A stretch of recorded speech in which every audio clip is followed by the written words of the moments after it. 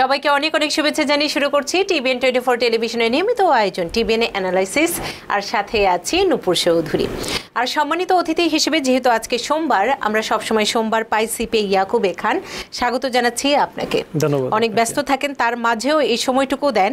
সে কারণে দর্শকদের পক্ষ থেকেও আপনাকে অনেক অনেক ধন্যবাদ এবং শুভেচ্ছা। আপনাকে অনেক ধন্যবাদ। টিভিএন টোয়েন্টি ফোরকে অনেক ধন্যবাদ। এই প্রোগ্রামটা করার জন্য আমরা আশা করি সবাই যতটুকু সময় আমরা চেষ্টা করি ইনফরমেশনগুলো শেয়ার করার। জন্য। হয়তো বা সবার জন্য এটা হেল্পফুল না বাট কিছু কিছু লোকের জন্য অবশ্যই আমরা জানি এটা এই কিছু ইনফরমেশন বিশেষ করে যারা এখন নতুন আসছেন। রাইট এবং অনেকে আছেন বিশেষ করে যখন এই প্রোগ্রামটা হয় যখন তখন কিন্তু তারা কিন্তু খুব আগ্রহের সাথে এই প্রোগ্রামটা দেখেন যে কিছু ইনফরমেশন আমরা এখান থেকে নতুন ইনফরমেশন আমরা কিছু অ্যাড করতে পারব। পারব।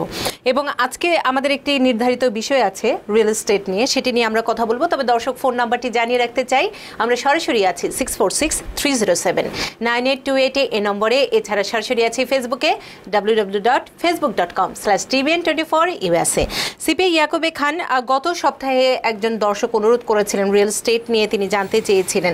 সেটির প্রেক্ষিতেই আমরা বলেছিলাম যে, এই সপ্তাহে আমরা এই বিষয়টি নিয়ে আলোচনা করব। শুরু করতে চান কোথা থেকে? শুরু করতে চাই বিশেষ করে আমাদের গত সপ্তাহে যে প্রশ্নটি ছিল, সেটি হচ্ছে যে উনি যদি কেউ এখানে একটি বাড়ি কিনতে চান বা বাড়ি কিনে কি কি ধরনের ট্যাক্স বেনিফিটগুলো নিতে পারবেন? এই ধরনের একটা প্রশ্ন ছিল, যতটুকু আমার মনে পড়ে।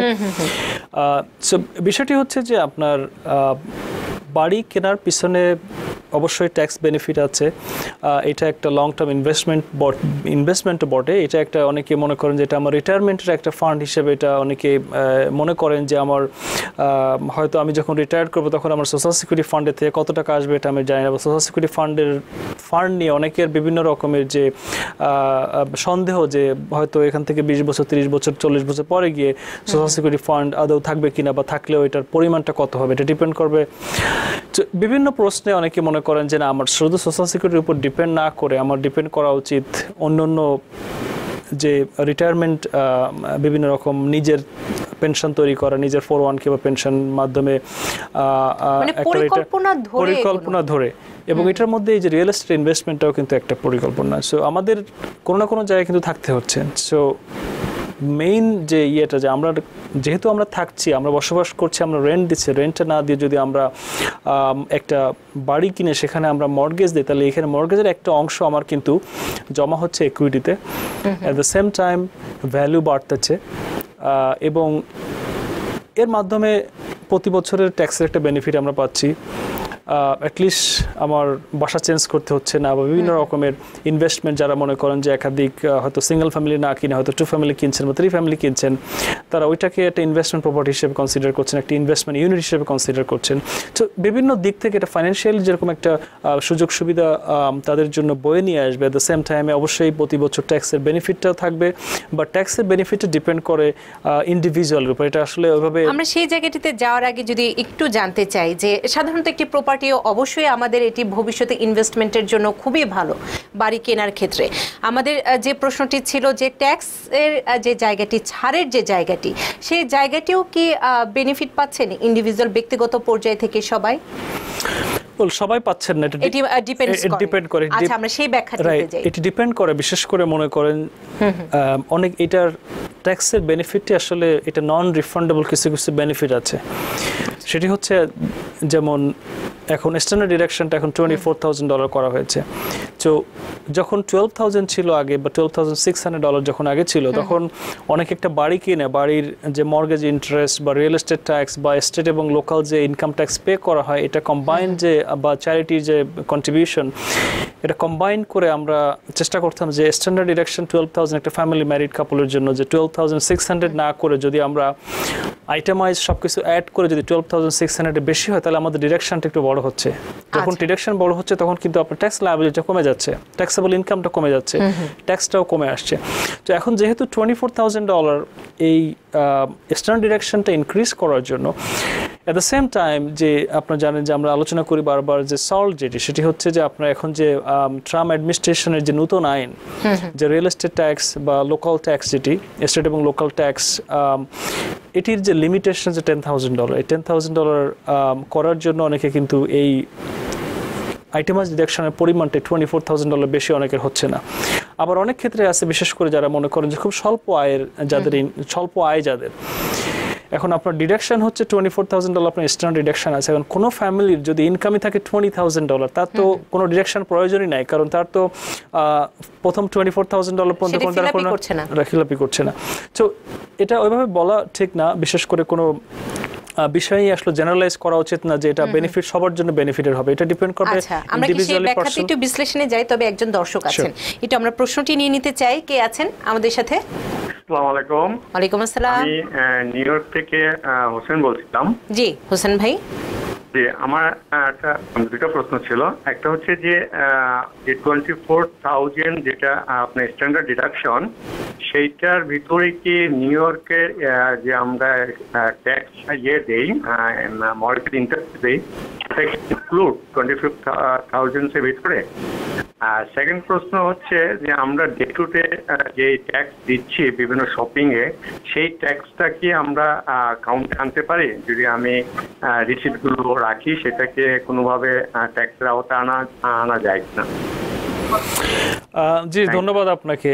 ধন্যবাদ আপনাকে। আপনার বিশেষ করে স্ট্যান্ডার্ড ডিরেকশনের যে বিষয়টি twenty four thousand dollar so twenty four thousand dollar এটা আপনার যদি ম্যারিড কোনো কাপল হয় তাহলে নো ম্যাটার আপনার বাড়ি থাক আর না থাক আপনার স্ট্যান্ডার্ড ডিরেকশনটা আপনি পাচ্ছেন। আমরা যখনই আমরা তখনই চেষ্টা করি যে যদি স্ট্যান্ডার্ড ডিরেকশনের থেকে যদি আইটেমের ডিরেকশন সব কিছু অ্যাড করে যদি বেশি হয় তখন আমরা চেষ্টা করি যে বেশি ডিরেকশনটা নেওয়ার জন্য। So eastern direction twenty four thousand dollar এখন এই টোয়েন্টি ফোর থাউজেন্ড ডলার বিশেষ করে যাদের বাড়ি আছে, এখন বাড়ি থাকলে পুরো বাড়িটা না, আপনার যদি এখন সিঙ্গেল ফ্যামিলি বাড়ি থাকলে আপনার বিশেষ করে যে বাড়িতে আমরা বসবাস করি এটি কিন্তু এই আইটেমের ডিরেকশনের অন্তর্ভুক্ত। তো এখন যদি আমরা একটা বাড়ি কিনি টু ফ্যামিলি তখন আমাকে ফিফটি পার্সেন্ট নিতে হবে। আমি যদি একটা থ্রি ফ্যামিলি হাউস কিনি, তখন থ্রি ফ্যামিলির আমাকে ওয়ান থার্ড নিতে হবে। যেহেতু আমি ওয়ান থার্ড আমি ইউজ করছি আমার পার্সোনালি এবং বাকি টু থার্ড আমি ইউজ করছি বা আমি যদি টু ফ্যামিলি কিনে দেন বাকি অংশ আমি ইউজ করছি আমার রেন্টালের জন্য। সো এই আমার পোর্শন আমি যে বসবাস করছি এই পোর্শনটা এই পোর্শনের হাফ হোক বা ওয়ান থার্ড হোক, এটা, এটার ইন্টারেস্ট আমি ওয়ান থার্ড লেসে আমি একটা টু ফ্যামিলি এক্সাম্পল যদি দিই, আমি টু থার্ড এটা হাফ ফিফটি পার্সেন্ট আমি যে ইন্টারেস্ট পে করছি সারা বছর, তার ফিফটি পার্সেন্ট আমি আইটেমাইজ দেখাতে পারব আমার রিয়েল এস্টেট ট্যাক্সের ফিফটি পার্সেন্ট আমি দেখাতে পারব। আপনার প্রশ্ন যেটি যে, আপনার যে সেলস ট্যাক্স যেটি পে করে হ্যাঁ সেলস ট্যাক্স অবশ্যই আপনি এটা ডিডাক্ট করতে পারেন বাট মোস্ট লাইকলি যখন আমরা পার্সোনাল ট্যাক্স ফাইল করি, আমাদের ইনকাম ট্যাক্স যদি থাকে বা আমাদের যদি প্রপার্টি ট্যাক্স থাকে, তখন এই স্টেট ট্যাক্সটা বিশেষ করে এটা আপনি অ্যাড করলে, বিশেষ করে যখন আমরা দেখি অনেকে বড় ধরনের কোনো পারচেস করেন লেসে একটা আপনি একটা গাড়ি পারচেস করলেন বা আপনি একটা বড় ফার্নিচার পারচেস করলেন।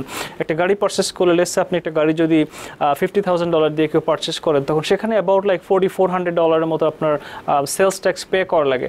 তো এরকমের যদি কোনো এক বছর হয় তখন ওই ফোর্টি ফাইভ হান্ড্রেড ডলার আপনি অ্যাড করতে পারবেন আপনার এই ট্যাক্স পেমেন্ট করা হয়েছে। বাট আপনার আরও একটু অ্যাড করতে চাই সেটি হচ্ছে এবছর যেহেতু এই ট্রাম্প অ্যাডমিনিস্ট্রেশনের যে নতুন ট্যাক্সের যে আইন এটি টু থাউজেন্ড টোয়েন্টি ফাইভ পর্যন্ত এটি কার্যকর থাকবে। এই আইনের আওতায় বিশেষ করে যেটাকে বলা হয় সল্ট স্টেট এবং লোকাল ট্যাক্স এটির লিমিটেশন এখন কিন্তু only ten thousand dollar so আপনি যদি ইভেন সেলস ট্যাক্স পে করেন বা আপনি স্টেট এবং লোকালকে ট্যাক্স পে করছেন বা আপনি আপনার প্রপার্টি ট্যাক্স পে করছেন, এটা কম্বাইন যদি আপনার যতই হোক না কেন আপনি maximum ten thousand dollar deduct করতে পারবেন up to two thousand twenty five পর্যন্ত। সো এটা এটা ডিপেন্ড করবে আপনার সিচুয়েশনের উপর বাট কম্বাইন সব কিছু অ্যাড করে আপনার এই ট্যাক্সের ten thousand portion plus mortgage interest plus হচ্ছে আপনার চ্যারিটি এগুলি সব কিছু অ্যাড করে যদি টোয়েন্টি ফোর থাউজেন্ড ডলার বেশি না হয়, তাহলে কিন্তু আপনার এটা কোনো বেনিফিট দেবে না।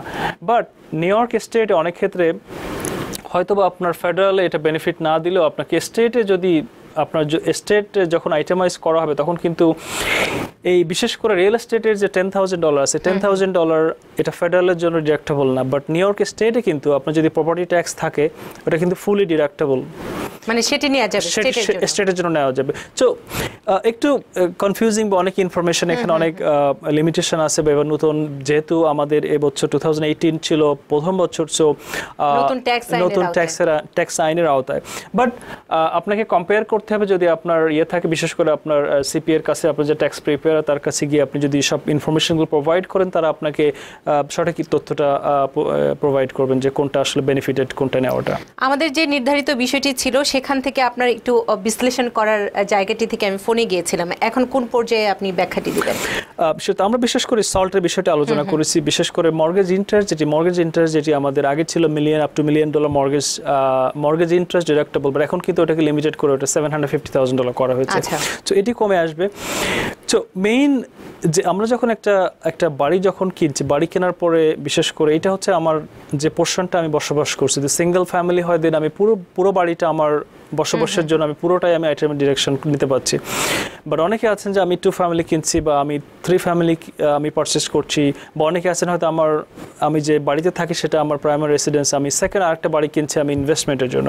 তো এগুলি ইনভেস্টমেন্টের জন্য বিশেষ করে আমরা বেশিরভাগ আমরা সাজেস্ট করি যদি কারও কোনো ইস্যু না থাকে যে সিঙ্গেল ফ্যামিলি কেনার থেকে আপনি যদি একটা টু ফ্যামিলি কেনেন বা একটা থ্রি ফ্যামিলি কেনেন তখন যে একটা হচ্ছে আপনি আইটেমাস ডিরেকশন নিয়ে আপনি একটা বেনিফিট নিতে পারছেন আপনার ট্যাক্সেবল ইনকামটা কমে আসছে।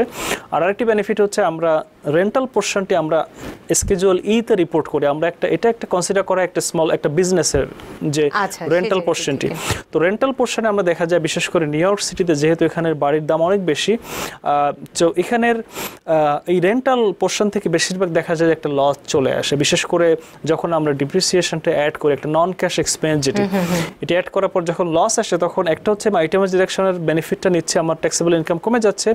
অন্য জায়গায় যখন স্কেজুয়াল ইতে আমার যদি লস থাকে লসটাও কিন্তু আমার ট্যাক্সেবল ইনকামটা রিডিউস করছে। রিডিউস করছে। তো মানে সেই জায়গাটি থেকে আপনারা পরামর্শ দিচ্ছেন যে one family one family right এখন এটা ডিপেন্ড করে অনেক টু ফ্যামিলি বা রাইট একাধিক আপনার সিঙ্গেল ইউনিট কেনার থেকে যদি মাল্টি ইউনিট যদি কিনতে পারেন এটা বেটার ট্যাক্সের জন্য বেনিফিটেড হবে আমরা কি একটা প্রশ্ন নিয়ে নিব. তারপরে আবার আসি আলোচনায় একজন আছেন। কে আছেন আমাদের সাথে? হ্যালো আসসালামু আলাইকুম। ওয়ালাইকুম আসসালাম। আমি ব্রঞ্জ থেকে মাহমুদা বলছি। জি আপা। আমার ওনার কাছে আমার একটা প্রশ্ন হচ্ছে যে আমরা যে বছর শেষে ট্যাক্স ফাইল করে থাকি সেখানে যদি ধরেন ফোর ফ্যামিলি হাউসের অর্থাৎ ফোর ফ্যামিলি মেম্বার হাজবেন্ড আছেন দুইটা বাচ্চা তো কেউ যদি married and separate tax file করে থাকে সেক্ষেত্রে আসলে এটা কতটুকু মানে পজিটিভ বা নেগেটিভ আমি ঠিক বুঝতে পারছি না যে এটার বৈধতা কি? যে আসলেই কি সেপারেট অ্যাড্রেস ইউজ করতে হবে বা একসাথে থেকে আমি ঠিক আসলে এটা আচ্ছা ক্লিয়ার আপনার মানে ফোর জানতে আপনার ফোর ফ্যামিলি হাউসে আপনি একটাই বসবাস করেন বাকিগুলো কি রেন্ট না না, বুঝতে পারছেন? না না, আমরা হচ্ছে চার চারজনের সদস্য একটা পরিবার হ্যাঁ? তো চাচ্ছি যে married and separate tax file যদি করা হয়। ধরেন আমার হাজবেন্ড তার দু বাচ্চা নিয়ে সেপারেট ট্যাক্স ফাইল করেছেন। আমি একদম সিঙ্গেল ম্যারিড বাট সিঙ্গেল এভাবে করে সেপারেট ট্যাক্স ফাইল করেছি। এখানে এটা আসলে কতটুকু মানে তিনি তার ট্যাক্স সঠিক হলো ফাইলে বা জি ঠিক হলো ঠিক বুঝতে পারছি। আচ্ছা। জি জি জি ধন্যবাদ আপনাকে বিশেষ করে আপনার প্রশ্নটি হচ্ছে যে আমরা বিশেষ করে আপনার যদি কেউ ম্যারিড থাকেন আহ, এবং অপশনটি হচ্ছে একটা হচ্ছে আপনার ম্যারিড থাকলে দুইটা অপশন একটা হচ্ছে যে আপনার either married filing joint.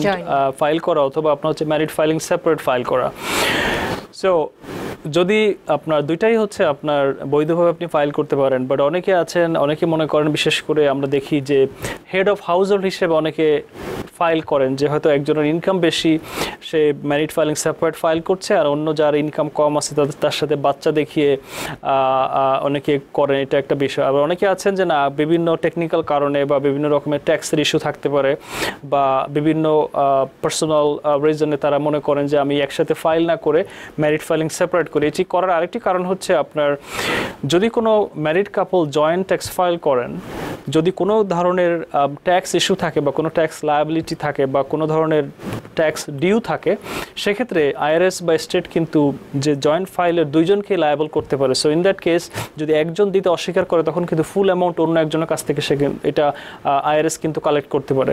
তো এটার জন্য অনেকে মনে করেন যার, বিশেষ করে লো ইনকাম অনেকে মনে করেন যে আমি জয়েন্ট ফাইল না করে, যদিও আমি একসাথে ফাইল করলে আমার ট্যাক্স বার্ডেনটা অনেকটা কম থাকে মোস্ট লাইকলি তো আমার ম্যারিড ফাইলিং সেপারেট করে আমরা যার যার যার বার্ডেনটা শেষ নিতে চায় এটা একটি কারণ। আবার অনেকে যদি যেটা আপনার যে হেড অফ হাউস হোল্ড হিসেবে যদি কেউ ফাইল করতে চান বেশি রিফান্ডের জন্য সে বিষয়টি ভাবতে হবে। বিকজ হেড অফ হাউস হোল্ডের যে বিষয়টি আমার মনে হয় আপনার সেই প্রশ্ন আসছে যে আপনি এক চার ফ্যামিলি বাড়ি থাকে আপনি যদি দেখান যে আমার কারও বাচ্চা একটা বাচ্চা নিয়ে সে ডিফারেন্ট একটা ইউনিটে থাকছে ফার্স্ট ফ্লোরে থাকছে, অন্য আরেকজন স্পাউস সে অন্য একটা বাচ্চা নিয়ে সে হয়তো থার্ড ফ্লোরে থাকছে।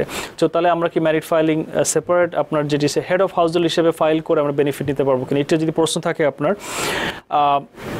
সেক্ষেত্রে হেড অফ আপনার ম্যারিড হেড অফ হাউস হোল্ডের যে ইস্যুটি সেটি হচ্ছে married couple head of household file করতে পারবে যখন, তখন যখন তাদের অনেকে আছে যে একটা হয়তো সেপারেশনে আছে তারা হয়তো সেপারেশনে আছে বা একটা টাইমে গিয়ে হয়তো তারা ডিভোর্স ফাইল করার প্ল্যান করছে তারা really they don't live under the under one roof তো তখন তারা যদি মোর দ্যান সিক্স মান্থ যে ট্যাক্স ইয়ার লেসে টু থাউজেন্ড এইটিনে ট্যাক্স ফাইল করছে টু থাউজেন্ড এইটিনের ট্যাক্স ইয়ারের যদি মোর দ্যান সিক্স মান্থ তারা সেপারেটেড থাকে just not to get tax benefit just because তারা পার্সোনালি তাদের প্ল্যান হচ্ছে হয়তো তারা স্প্লিট করা বা তারা ডিভোর্স ফাইল করা বা তারা হয়তো সেপারেট বসবাস করা। সেক্ষেত্রে তারা কিন্তু হেড অফ হাউজল ফাইল করতে পারেন। কিন্তু বেনিফিট নেওয়ার জন্য উনি যেটি রাইট বেনিফিট নেওয়ার জন্য যে একই বৈধতা কতখানি রাইট একই বাসায় থেকে কিন্তু আলাদা। রাইট একই বাসায় থেকে অনেকে যদি এখন এটা মিসইউজ করেন যে একই বাসায় থেকে আমি শুধু আমার ডিএমবি থেকে আমি আইডিটা আমি অন্য অ্যাড্রেস ইউজ করলাম বাট আমরা একসাথে বসবাস করছি তখন কিন্তু বিভিন্ন ধরনের প্রশ্ন আসে। যদি এই ধরনের অডিট হয় অডিট হলে তখন প্রশ্নটা আসবে বিকজ তারা কিন্তু এভাবে ফাইল করতে পারবে না বেনিফিট নিতে পারবে না। আচ্ছা। তখন বিভিন্ন রকম প্রশ্ন আসবে তাদের কি একসাথে ব্যাংক অ্যাকাউন্ট আছে কিনা? তাদের বাচ্চার যখন স্কুলে সাবমিট করো তাদের কি গার্ডিয়ানকে বা তাদের তাদের যে ইনকাম বা তাদের এক্সপেন্সগুলি বা তাদের লিজে তাদের নাম আছে কিনা বা তাদের বিভিন্ন ধরনের প্রশ্ন আসবে জাস্টিফাই করার জন্য তারা আসলে কি ম্যারিড ফাইলিং সেপারেট কিনা? ওনার আরেকটি প্রশ্ন সেটি আমি অ্যাড করতেছি বিশেষ করে যেহেতু আমরা রিয়েল এস্টেট নিয়ে আলোচনা করছি আজকে যখন একটা married couple married filing separate tax file করে তখন যদি রেন্টালের কোনো লস থাকে বিশেষ করে রেন্টাল যে ইউনিটে যদি কোনো লস থাকে সেই লসটা কিন্তু সে নিতে পারে না ওই বছর। এটা হচ্ছে নিয়ম সেটি হচ্ছে যে আপনার ম্যারিড ফাইলিং সেপারেট করলে ইভেন তো তার রেন্টাল পোর্শন থেকে তার টেন থাউজেন্ড লস থাকতে ওইটা তো সে ক্যারি ওভার করতে পারবে নেক্সট ইয়ারের জন্য বাট সে ওই বছর নিতে পারবে না যখন সে ম্যারিড ফাইলিং সেপারেট ফাইল করবে। সাধারণত। আপনি যদি আইনগত জায়গাটি ব্যাখ্যা করেন ট্যাক্সের জায়গাটি উনি যে জায়গাটিতে একটু উদ্বিগ্ন হয়ে প্রশ্ন করেছেন যে এটি বৈধ না অবৈধ যে আমরা একসাথে থাকি কিন্তু ট্যাক্স ফাইলটি যদি আলাদা করা হয় সেই জায়গাটিতে আপনি তো ব্যাখ্যা দিলেন কিন্তু আপনার ভাষ্যটি কি হবে? সেটি হচ্ছে যে আপনার কথায় ম্যারিড ম্যারিড ফাইলিং জয়েন্ট অথবা ম্যারিড ফাইলিং সেপারেট দুইটাই বৈধ।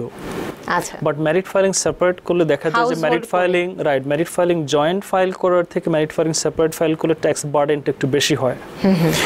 আর হেড অফ হাউসহোল্ডটা হচ্ছে অনলি ওই সিচুয়েশনে যদি থাকে যে তারা স্প্লিট হচ্ছে তারা সেপারেট টোটালি সেপারেটেড থাকে তখন তাদের জন্য এটা তারা ফাইল করতে পারে যে আমি সেপারেটেড এবং আমি আমার একটা বাচ্চা নিয়ে আমি বসবাস করছি এবং এটা এই যে বসবাস করছি এটার বড় পোর্শন বা আমি এই বাসার খরচ আমি এটা বহন করছি। তখন সে ম্যারিড হেড অফ হাউস হিসেবে ফাইল করতে পারে। বাট ইন্টেনশনালি রাইট ইন্টেনশনালি আপনার প্রশ্ন যেটি ইন্টেনশনালি ট্যাক্স বেনিফিট নেওয়ার জন্য বা অনেকে আছেন শুধু ট্যাক্স বেনিফিট না অনেকে আছেন বিশেষ করে মেডিকেইডের জন্য। এটি করে থাকেন। মেডিকেডের জন্য অনেকে মনে করেন যে হয়তো এক স্পাউসের বেশি ইনকাম আছে সে ম্যারিড ফাইলিং সেপারেট ফাইল করছে এবং যে স্পাউসের কম ইনকাম আছে সে বাচ্চাদের নিয়ে যেহেতু যার বেশি ইনকাম এটা নিয়ে টোটাল তার মেডিকেট পাচ্ছে না। তো তখন কম ইনকাম যারা যার যে স্পাউসের, সে কিন্তু বাচ্চাদেরকে নিয়ে সে separate head of household file করছে এবং ওইটা মেডিকেড অফিসে ফাইল করছে। বাট একটা প্রবলেম হচ্ছে যদি তারা ফাইন্ড আউট করতে পারে ইন দ্য ফিউচারে গিয়ে এই ধরনের সিচুয়েশন আসতে পারে, তারা যখন ফাইন্ড আউট করবে যে না, তারা আসলে আবার অনেকে আছেন যে ম্যারিড ফাইলিং জয়েন্ট ফাইল করছেন বাট যখন মেডিকেড ইনফরমেশন প্রোভাইড করছেন, তখন দেখাচ্ছেন যে উনি বাচ্চা নিয়ে থাকেন বা বিভিন্ন ধরনের মানে বাট আমাদের তথ্য যেটি সঠিক সেটি প্রোভাইড করা উচিত সেটি provide করা উচিত, আমাদের সাথে আরও দুজন অতিথি আছেন। ফোনে কে আছেন আমাদের সাথে? ফোনে কে আছেন? ফোনে কে আছেন? কথা বলতে হবে? মুন্নাহার বলছিলাম। আচ্ছা আপা প্রশ্নটি? যে আমার প্রশ্ন হচ্ছে আমি ট্যাক্স ফাইল করার সময় কি আমার মাকে ডিপেন্ড দেখাতে পারব? আমার মা এক বছর ছিল আমেরিকায় এরপর এখন দেশে। আচ্ছা ঠিক আছে আমি ডিপেন্ড দেখাতে পারব। আচ্ছা কি বলবেন? জি ধন্যবাদ। আপনাকে ওনাকে যদি ওনার উনি যদি এখানে থাকেন অ্যাটলিস্ট বছরের যে বছরে ট্যাক্স ফাইল করা হয় এই বছরের ছয় মাস যখন ট্যাক্স ফাইল করবেন তখন না লেসে টু থাউজেন্ড এইটিনে আমরা ট্যাক্স ফাইলটা করি ক্যালেন্ডার ইয়ারে জানুয়ারি থেকে ডিসেম্বর থার্টি ফার্স্ট পর্যন্ত। তো এই বছরের মধ্যে তাকে at least more than six months এখানে থাকতে হবে তাহলে ওনাকে আপনি ডিপেন্ডেন্ট দেখাতে পারবেন অথবা দেখাতে পারবেন না। উনি বলেছেন যে এক বছর তার মানে হচ্ছে তিনি দেখাতে উনি রাইট এক বছর ছিলেন যে বছর ছিলেন ওই বছর উনি দেখাতে পারবেন বাট যদি উনি আচ্ছা। কন্টিনিউ এখন দেশে থাকেন তখন সেক্ষেত্রে উনি কিন্তু এটা দেখাতে পারবেন না। আচ্ছা আরেকজন আছেন। আমি একটু প্রশ্নটি নিয়ে নিই। কে আছেন আমাদের সাথে? জি সালাম আলাইকুম। ওয়ালাইকুম আসসালাম। ভাই প্রশ্নটি? ভাইয়া প্রশ্নটি করতে হবে। জি আইমান বলছিলাম ফ্লোরিডা থেকে। আচ্ছা আমি একজন সেলফ এমপ্লয়েড প্লাস আমি আমার কর্পোরেশনে চাকরিও করি। আমি একটা বাড়ি কিনতে চাইলে আমাকে কোন প্রসিডিউরে যাব? স্যার কি বলবেন আমাকে? আচ্ছা। আপনার প্রশ্নটি ধন্যবাদ আপনাকে প্রশ্ন করার জন্য। আমার যতটুকু আমি মনে করি যে আপনার বাড়ি কিনতে গেলে এটা আসলে আমি প্রশ্নটি আমরা ঠিক ক্লিয়ার না। আপনি যদি মানে মর্গেজের সাইড থেকে প্রশ্ন করেন সেটি একটি বিষয়। আপনার আমি মর্গেজ ব্রোকার না। আপনাকে কোনো মর্গেজ ব্রোকার সাথে আলোচনা করতে হবে বা ট্যাক্সের সাইড থেকে যদি আমি এতটুকু বলতে চাই সেটি হচ্ছে যেহেতু আপনি সেলফ এমপ্লয়েড মোস্ট লাইকলি যেহেতু আমরা মর্গেজ কোম্পানির সাথে কাজ করি আপনার বিশেষ করে ট্যাক্স রিটার্নগুলো তাদের তারা যখন রিভিউ করে আহ, তখন যে প্রশ্নটা সেটি হচ্ছে আপনি self employed at least most likely তারা দেখতে চায় যে আপনি দুই বছর এই সেম সিমিলার জব করছেন কিনা একই ধরনের বিজনেস করছেন কিনা। তো আপনাকে কনসিডার করা হবে সেলফ এমপ্লয়েড হিসেবে যেহেতু আপনি এই আপনার নিজের বিজনেস থেকে আপনি ইনকাম নিচ্ছেন। তো আমার মনে হয় যে অবশ্যই আপনি কিনতে পাবেন বাট আপনার মর্গেজ কোয়ালিফিকেশন বা যে বিষয়টি সেটি আপনাকে একটু চিন্তা করতে হবে। বাট আমাদের যে বিষয়টি সেটি হচ্ছে যে আপনার ট্যাক্সের বিষয়। ট্যাক্সের বিষয়ে যে আমাদের কি কীভাবে আমরা ট্যাক্স বেনিফিটগুলো নিতে পারি বা কি কী সতর্কতা আমাদেরকে অবলম্বন অবলম্বন করতে হবে। এ বিষয়ে আসবে একটা ছোট্ট বিরতিতে নিয়ে নিয়ে নেই। প্রিয় দর্শক আপনারা দেখছেন টিভেন অ্যানালাইসিস সময় হচ্ছে ছোট্ট বিরতি নিবার সাথেই থাকুন। আবারও আমন্ত্রণ জানাচ্ছি টিবিএনএ অ্যানালাইসিস অনুষ্ঠানে এবং সম্মানিত অতিথি হিসেবে সিপিএ ইয়াকুবে খান আছেন আমাদের সাথে।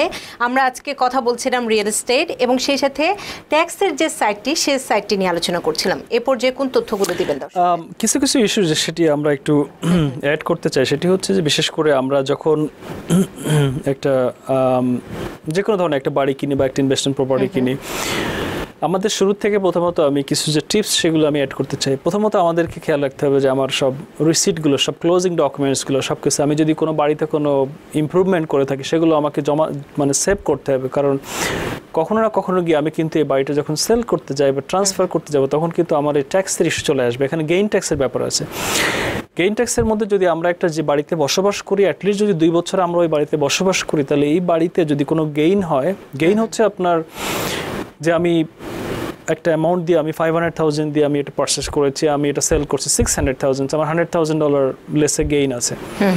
তো এটার উপরে আমাকে যে ট্যাক্স দিতে হবে যদি আমি বাড়িতে বসবাস করি সেক্ষেত্রে কিন্তু এই ট্যাক্সটা দিতে হবে না up to half a million dollar পর্যন্ত যারা married filing joint but at the same time যে বিশেষ করে আমাদের যখন ইনভেস্টমেন্ট তো এটা একটা এটা একটা সুযোগ বিশেষ করে যারা বসবাস করেন এই ট্যাক্স ফ্রি গেইনটা কিন্তু তারা নিতে পারেন কোনো ট্যাক্স দিতে হবে না। এটা একটা সুযোগ এভরি টু ইয়ার্স পর পর তারা করতে পারেন।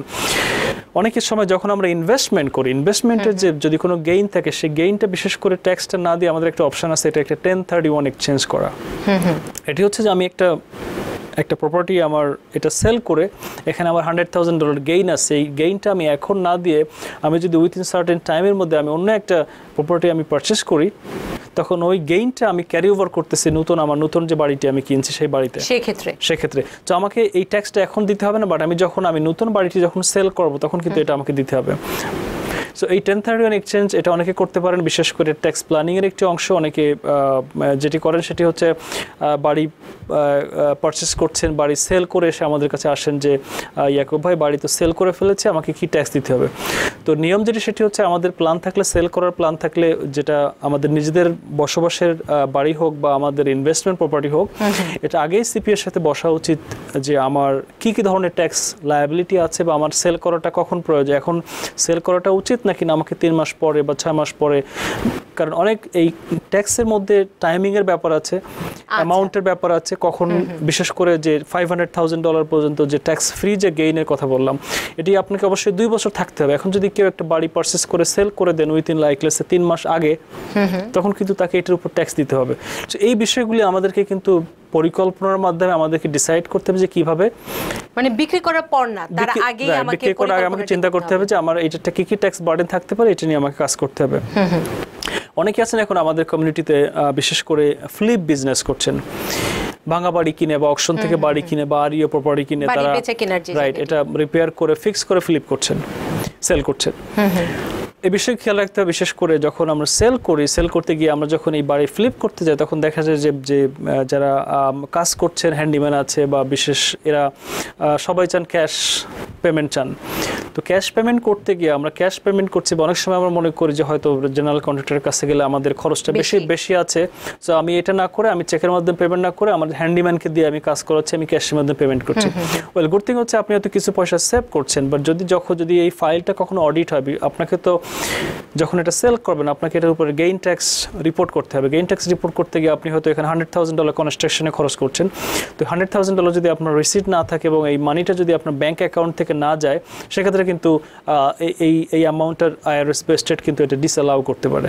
তো আমাদেরকে চেষ্টা মানে করতে হবে। প্রতিটি কাজের আমার তথ্য প্রমাণ দরকার। তথ্য প্রমাণ দরকার এবং শুধু শুধু রিসিট না আমাকে। রাইট শুধু রিসিট না আমাদের দুটো জিনিস প্রয়োজন একটা হচ্ছে রিসিট এবং আরেকটা হচ্ছে মানি আমার ব্যাংক অ্যাকাউন্ট থেকে যেতে হবে। আচ্ছা সেই Okay? জায়গাটি সেই জায়গাটিকে তো এটা যারা ফ্লিপ করছেন, চেষ্টা করবেন আপনারা বিশেষ করে এই কোনো পেমেন্টগুলি বিশেষ করে আপনার এটা এভাবে প্রোভাইড মানে পেমেন্টগুলো করা ব্যাংকের থেকে আপনার যাতে করে যখন ট্যাক্স ফাইল সময় আসবে তখন যেন এটা নিয়ে কোনো বার্ডেন না হয় বা কোনো ধরনের ইস্যু ক্রিয়েট না হয়। একদম যেহেতু অনুষ্ঠানের শেষ প্রান্তে উপসংহারে কি বলবেন? সামগ্রিক বিষয়। অবশ্যই। ধন্যবাদ যারা আমাদের সাথে আছেন আজকে বিশেষ করে বাড়ির অবশ্যই একটা গুড ইনভেস্টমেন্ট বাট আমাদের চেষ্টা করতে হবে আমাদের জানতে হবে বিশেষ করে এই ট্যাক্সের ইস্যুগুলি যখন আমরা একটা ইনভেস্টমেন্ট প্রপার্টি হোক বা আমাদের নিজের বসবাসের যে বাড়িটি সেটি যখন আমরা সেল করব তখন এটা সেল করার পরে না সেল করার আগে আমাকে প্ল্যান করতে হবে এটা আমার কি ট্যাক্স বার্ডেন আসতে পারে? এটা পরিকল্পনা করে আমাদের ট্যাক্স ফাইল করতে হবে। অবশ্যই আপনার, যদি আপনার সম্ভব হয় সিঙ্গেল ফ্যামিলি না কিনে যদি আপনারা, বিশেষ করে যারা যদি অ্যাফোর্ড করতে পারেন দেন একটা টু ফ্যামিলি বা থ্রি ফ্যামিলি বা একটা মাল্টি ফ্যামিলি ইউনিট যদি আপনারা কিনতে পারেন, এটা বেটার বেটার এই ক্ষেত্রে সেটি হচ্ছে একটা হচ্ছে আইটেমার ডিরেকশন আমরা নিতে পারি, আরেকটি হচ্ছে আমরা যে রেন্টাল পোর্শন থেকে বিশেষ করে মোস্ট লাইকলি এটা লস আসে। তো এই লসটাও কিন্তু আপনার ট্যাক্স লায়াবিলিটিটা কমিয়ে নিয়ে আসবে। যেটি একটি বিষয় up to half a million dollar পর্যন্ত ট্যাক্স ফ্রি গেইন আছে ম্যারিড ফাইলিং কাপলের জন্য। যারা অ্যাটলিস্ট দুই বছরে বাড়িতে বসবাস করবেন। যদি এটি না হয় দেন আপনার অ্যাটলিস্ট আপনার যদি মনে করেন যে না, আমি একটা বাড়ি কিনে আরেকটি বাড়ি আমি পারচেস করছি, সেক্ষেত্রে আপনার at least ten thirty one exchange করবেন। যারা ফ্লিপ করছেন মেকশিওর যে আপনাদের রিসিট বা শুধু ফ্লিপ না, আপনার বিশেষ করে আমরা যখন যে কোনো বাড়ি কিনি মেকশিওর যে আমাদের শুরু থেকে যত ধরনের কাগজ বা যত ধরনের ডিড বা আপনার রিসিট আপনার যত ইমপ্রুভমেন্ট এগুলি সব রিসিটগুলি যেন আমরা সঞ্চয় করি। কারণ যখন এই বাড়িটা আমরা সেল করব, তখন কিন্তু আমাদের এই সব ধরনের রিসিট কিন্তু লাগতে পারে। ব্যাংক চেক বা যে ধরনের পেমেন্ট মেথড যেগুলো সেগুলো আমাদের কিন্তু প্রয়োজন হতে মানে সংরক্ষণ করা খুবই সংরক্ষণ জরুরি। রাইট অবশ্যই এবং আরেকটি তথ্য বলছিলেন যে ব্যাংক অ্যাকাউন্ট থেকে যেন লেনদেনগুলো হয়। লেনদেনগুলি হয়। আরেকটি বিষয় সেটি হচ্ছে বিশেষ করে আমরা যেহেতু ইউএস সিটিজেন বা গ্রিন কার্ড হোল্ডার যারা তাদের যদি কোনো বাংলাদেশে কোনো ইনভেস্টমেন্ট প্রপার্টি থাকে সেটিও কিন্তু আমাদের ইউএস ট্যাক্স রিটার্নে প্রোভাইড করতে হবে রিপোর্ট করতে হবে। আহ, এটি আমরা বিশেষ করে আহ, প্রবাসী বাংলাদেশিদের জন্য শুধু শুধু বাংলাদেশে না যে কোনো হয়তো ইন্ডিয়ায় বা অন্য কোনো জায়গায় যদি ইনভেস্টমেন্ট প্রপার্টিতে সেগুলি আমাদেরকে চেষ্টা করতে হবে এগুলো রিপোর্ট করার জন্য। আমরা এই বিষয় নিয়ে আমাদের এই ফ্রাইডেতে আমাদের একটা সেমিনার আছে আমরা করতে চাই সেটি হচ্ছে বাংলাদেশ এবং আমেরিকার মধ্যে আইনগত এবং ট্যাক্সের যে পার্থক্য বা ভিন্নতা এগুলো নিয়ে আমরা আলোচনা করব। এটার মধ্যে আমাদের এটি জ্যাকসোনাইটের জুইস সেন্টার এই ফ্রাইডে সিক্স থার্টি 6:30 অগস্ট সেকেন্ডে তো এখানে আমাদের এই বিশেষ করে এই ধরনের ইনভেস্টমেন্ট যে রেন্টাল বা ফ্যাটকা বা এফবারের বিষয়গুলি নিয়ে বা বিভিন্ন আইনগত বিষয় নিয়ে আমরা আলোচনা করব। তো আমরা আশা করি আপনারা পরবর্তীতে আমাদের এই অনুষ্ঠানে হয়তো এই বিষয়টি নিয়ে আলোচনা করেছিলাম. আবারও করব হয়তো। আপনাদেরকে আমন্ত্রণ জানাচ্ছি আমাদের এই সেমিনারে অংশগ্রহণ করার জন্য। অসংখ্য ধন্যবাদ ধন্যবাদ সিপি। ইয়াকুবে খান সেই সাথে দর্শক আপনাদেরকেও ধন্যবাদ জানাচ্ছি। আগামীকাল দেখা হবে ঠিক একই সময়। ভালো থাকবেন সবাই।